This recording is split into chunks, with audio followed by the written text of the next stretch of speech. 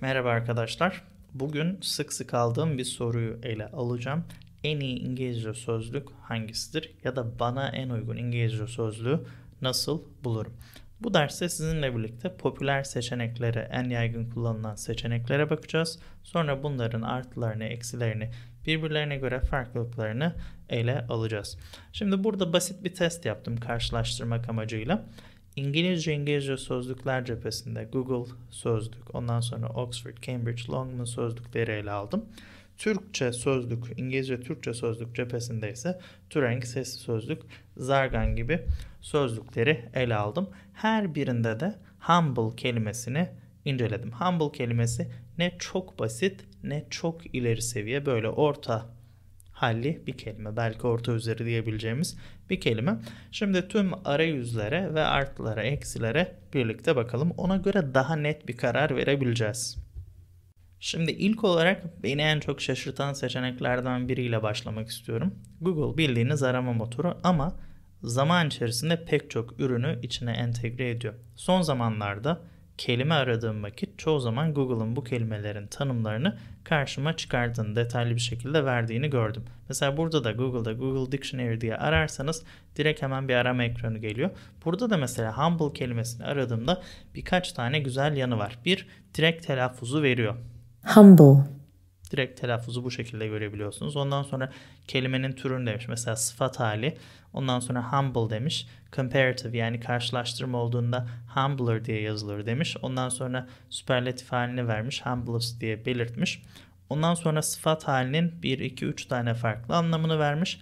Daha sonra fiil haline vermiş ve fiil halinin farklı zamanlarda nasıl çekildiğini belirtmiş. Hatta Buna ek olarak kelimenin geçmişinden bahsetmişti. Latinceden humus kelimesinden, zemin kelimesinden geldiğini, ondan sonra humilesi olduğunu, onun da low aşağı anlamına geldiğini, işte eski Fransızcadan da orta dönem İngilizcesine geçtiğini belirtmiş. Bu şekilde tarihi bir diyelim serüveni de bizimle paylaşmış oluyor.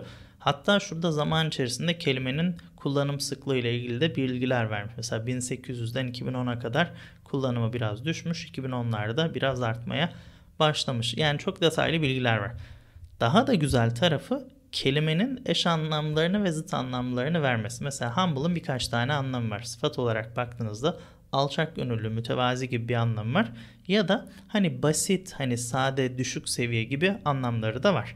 Mesela burada ilk anlam having or showing a modest or low estimate of one's importance. Hani birinin diyelim önemiyle alakalı olarak düşük orta seviye bir tahmin göstermek. I felt very humble when meeting her. Hani onunla diyelim görüşürken onunla diyelim toplandığımızda kendimi çok böyle şey mütevazi demeyelim de aşağıda gördüm ona kıyasla demiş. Sonra bu anlama yönelik eş anlamlı benzer farklı kelimeleri vermiş. Ondan sonra zıt anlamlı mesela humble dedik ya mütevazi daha alçak anlamında. Proud hani ne derler gururlu anlamında zıt anlamda verilmiş. Şimdi Google Sözlüğün böyle bir avantajı var. Aynı zamanda bunu Google e, Translate hani Google çeviri üzerine de entegre etmişler. Burada da baktığınızda aynı şekilde hem kelimenin direkt Türkçesini görebiliyorsunuz hem de ilginç bir şekilde e, diğer eş anlamlarını da yanında veriyor. Bu açıkçası çok avantajlı ve güzel olmuş. Eskiden hani bu özellikler, içerikler yoktu. Hani zaman içerisinde bu sözlüğü ürünü çok geliştirmişler. Sonra mesela burada diyelim ki mütevazi kelimesiyle ilgili diğer çevirileri, eş anlamları vermiş. Basit, humble olarak baktığınızda simple, basic, easy gibi eş anlamları vermiş. Çünkü hani anlama göre eş anlamlar değişebiliyor. Bunların kullanım sıklıklarını vermiş. Burada da aynı şekilde tanımları vermiş. Örnek cümleler vermiş. Hatta aşağıda pek çok farklı örnek cümle görebiliyorsunuz. Mesela it proved to be a disaster in my humble opinion. Bu mesela bir ifade. Diyor ki it proved to be a disaster. Hani tam bir felaket oldu. Hani kanıtladı değil de bu bir özel kullanım. Tam bir felaket oldu in my humble opinion. Hani benim naçizane fikrim, benim naçizane görüşüm. Bana göre bu tam bir felaket. Bu şekilde açıkçası Google cephesinde çok ciddi ilerlemeler olmuş. Eskiden bu özellikler, bu detaylar yoktu ama sürekli olarak bu sistemi geliştiriyorlar. O yüzden Normalde Google bir sözlük sitesi olmasa da bir sözlük aracı olarak piyasaya çıkmamış olsa da çok e, kaliteli bir sözlük ortaya çıkarmış durumda. Çünkü ellerinde çok büyük veriler var. Sonra ikinci olarak benim sık sık kullandığım Cambridge sözlük. Arayüzü şu an şu durumda dönem dönem değişiyor. Burada da mesela geldiğinizde kelimenin işte sıfat hali İngiliz Amerikan aksanı ile okunuşlarını dinleyebiliyorsunuz. Sonra şöyle güzel bir şey var. Seviye belirtmiş. Mesela C2 demiş. A1, A2, B1, B2, C1, C2. Yani bunun ileri seviye bir kelime olduğunu söylemiş. Buradan hani onu görebiliyorsunuz. O da bir avantaj. Ondan sonra İngilizce açıklamasını veriyor kelimenin. Örnek cümlesini veriyor. Detayları görebiliyorsunuz. Sonra burada da bir thesaurus kısmı var. Hani benzer anlamlı kelimeleri göstermiş. Fiil halini vermiş. Fiil halini verdiğinde de bakın T demiş. Transitive yani nesne alır demiş. Nesne alması lazım demiş. Dediğim gibi burada da arayüz bu şekilde örnekleri vermesi de güzel. Burası Cambridge'in arayüzü. Sonra eskiden oxforddictionaries.com diye bir adres vardı. Hani Oxford onu değiştirmiş. Şimdi Lexico diye bir siteleri var. Lexico sitesinde de sözlükler, işte thesaurus dediğimiz eş anlamlı kelimeler, sözlüğü gibi kaynaklar yer alıyor. Şimdi buraya baktığınızda da sade bir arayüz var. Direkt humble kelimesini. humble, Mesela dinliyorsunuz. Sonra sıfat olmuş. Sonra comparative, superlative hallerini vermiş burada. Karşılaştırma ve enli hallerini. Sonra örnek cümleleri ve eş anlamları şöyle basit bir şekilde gösteriyor. Bu da güzel hani kullanışlı olmuş. Örnek cümleleri de hani bu anlamla ilgili örnek cümleleri görebilmek güzel. Çünkü ne kadar çok örnek cümle görürseniz o kadar faydalı olur. Mesela ne demiş şurada? Humble kelimesinin bir anlamı da dediğim gibi hani yüksek seviye değil de düşük orta seviye bir arka plandan gelmek. Of low social, administrative or political rank. Demiş ki düşük sosyal, idari ya da politik sıradan olmak. She came from a humble, unprivileged background. Demiş ki o hani basit, sade bir arka plandan geldi. Nasıl? Unprivileged background. Hani ayrıcalıklı olmayan bir arka plandan, basit bir arka plandan geldi. Sonra bunun eş anlamları. Burada mesela low, lowly, lower class, plebeian, proletarian, working class gibi ne yapmış? Eş anlamlarını vermiş. Çünkü bu anlamla ilişkili olan eş anlamlar. Sonra da mesela daha fazla örnek cümle vermiş. Ha ne demiş? She turned to her close friend Parker, a working class girl from a humble background. Burada da yine şu anlamla bu anlamda eşleşen bir örnek cümle verilmiş. Açıkçası bu çok kullanışlı olmuş. Hele de örnek sayısının fazla olması. Ben ne zamandır e, Oxford sözlüğe bakmamıştım. Bu açıkçası ilgimi çekti. Güzel bir seçenek olarak karşımıza çıktı. Burada da mesela fiil olarak ver, verildiğinde ne demiş? With object. Yani demiş ki siz bu fiili kullandığınızda humble'ı bir fiil olarak kullandığınızda bunu bir nesneyle kullanmanız gerekiyor. Sonra da altta bu humble kelimesiyle birlikte kullanılan çeşitli nelerden bahsetmiş? Örneklerden bahsetmiş. ifadelerden hani kalıp deriz ya kalıplardan bahsetmiş. Mesela once humble abode. Bu mesela sık nispeten daha sık gördüğümüz bir şey. İşte bizim küçük kulübemiz, küçük yuvamız dersiniz ya hani naçizane kendi evinize atıfta bulunurken. işte bizim baraka mı dersiniz tam Türkçesini çıkartamıyorum. O anlamda kullanılan bir ifade. Ne diyor? Used to refer to one's home with an ironic or humorous show of modesty.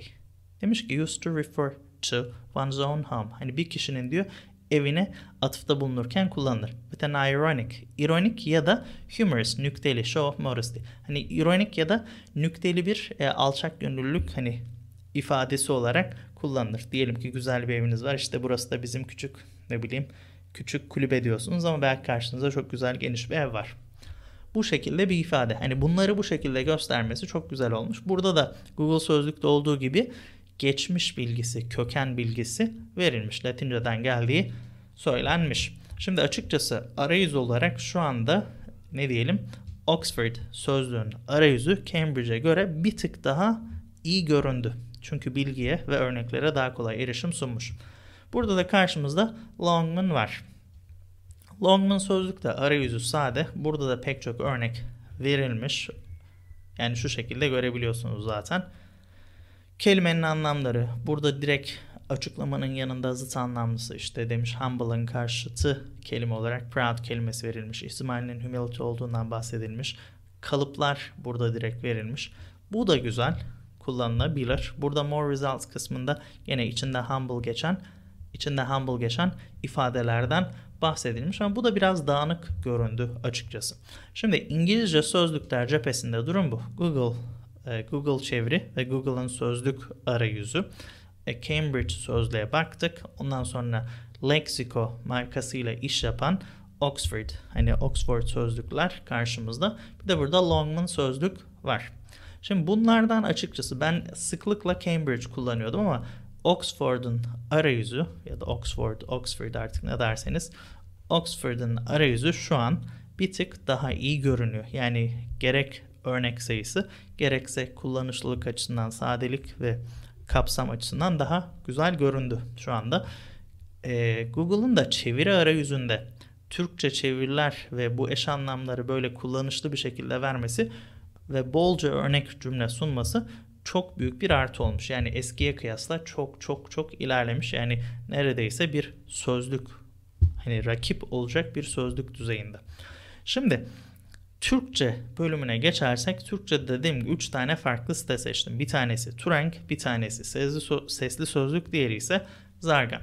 Şimdi Turank'te humble kelimesini aradığınızda ne yapabiliyorsunuz? Burada sıfat, fiil diye e, bölümlendirmişler. Hani diyelim ki bu kelimenin sıfat olarak çevrilişi mütevazi alçak gönüllü demişler. Fiil olduğunda burnunu kırmak, gururunu kırmak gibi anlamlar vermişler. Tabi bunu görmek güzel. Kibrini kırmak. Niye? Çünkü humble'ın hem fiil hem sıfat olarak kullanıldığını görmüş oluyorsunuz. Ya da burada ne var? Bakın burada Aha, fakirane evet. Demin baktığımız işarede. Hani once humble abode.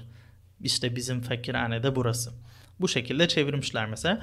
Burada da özellikle kalıpları, ifade şeklindeki yapıları nasıl çevirmişler görebiliyorsunuz. Hani zengin bir içerik var karşınızda. Ama tabii kelimeyi yeni öğreniyorsanız, diyelim İngilizceyi yeni öğrenen biriyseniz burada çok fazla e, fazla veri yok. Yani örnek cümle yok, eş anlamlısı yok, zıt anlamlısı yok, detaylar yok. Hani bu direkt çeviri yaparken size fayda sağlayabilecek bir arayüz.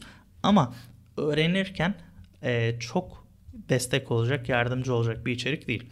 Sesli sözlükte de burada da ne yapılmış? Burada hem Türkçesi hem İngilizcesi var. Bazılarının da çevirileri verilmiş. Yani cümle bazlı çevirileri verilmiş. Yani cümle bazlı çevirilerin verilmesi özellikle yeni öğrenen ya da orta seviyedeki öğrencilere yardımcı olacaktır. Burada tabii çok fazla veri var. E, o çok fazla veriyi de biraz kafa karıştırabilir. Öyle kendi tabii bu biraz kişisel zevke de bağlı ama bakıp karşılaştırabilirsiniz. Burada mesela İngilizce İngilizce tanımlar da verilmiş ama hani şahsen ilk bakışta bana şu Google çeviri sözlük arayüzüyle Longman sözlüğün bu ikiliyi birlikte kullanmak cazip bir seçenek olarak geliyor. Sonra da burada Zargan var. Zargan'da da hem işte kelimelerin isim, sıfat, fiil halleri verilmiş. Ha terimler, kalıplar bölümü var. Terimler, kalıplar bölümünde de hani bu kelimenin geçtiği kalıpları görebiliyorsunuz. Mesela ne denilmiş? Humble classes, aşağı toplumsal sınıflar diye çevrilmiş. Humble birth, hani mütevazi aileden gibi bir çeviri yapılmış. Burada işte dediğim gibi kalıpları görebiliyorsunuz. Kelimenin detayları var. Hani bu da yine Türkçe özelinde çalışmak istiyorsanız, yani çeviriyle alakalı çalışmak istiyorsanız size yardımcı olabilecek bir kaynak. Yani çeviri bağlamında yararlı ama dediğim gibi İngilizce öğrenirken Google çeviri, Google sözlük ya da onunla birlikte İngilizce detayları görmek, kelimeyi daha derinlemesine anlamak için bu Oxford Sözlüğün Lexiko hizmeti ya da Lexiko sitesi yararlı olabilir. Şimdi tüm bu linkleri, tüm bu detayları video açıklamasında ya da yorumlar kısmında paylaşacağım. Aynı zamanda Hüseyin Demirtaş'ın İngilizce sitesine de bir yazı link olarak da eklemeye çalışacağım sizin için. Evet, şimdilik söyleyeceklerim bunlar. İngilizce sözlükler, hani kullandığınız sözlük tabii kişiden kişiye tercihler değişebilir ama genel hani benim şu an piyasada gördüğüm en sık öğrencilerin kullandığı kaynaklar. Hani benim şu an şahsi görüşüm, tercihlerim bu şekilde ama Tabii ki herkesin öğrenmesi, tercihleri farklı. Yani size daha çok hitap eden, daha kolay öğrenmenize vesile olan bir sözlük, bir araç varsa şüphesiz onu kullanın, onu tercih edin. Evet, şimdilik söyleyeceklerim bunlar sevgili arkadaşlar. Bir sonraki derste görüşmek üzere. Hüseyin Demirtaş'ta İngilizce kanalına abone değilseniz abone olun. Aynı zamanda bildirimleri açarak yeni derslerden haberdar olabilirsiniz. Hoşçakalın.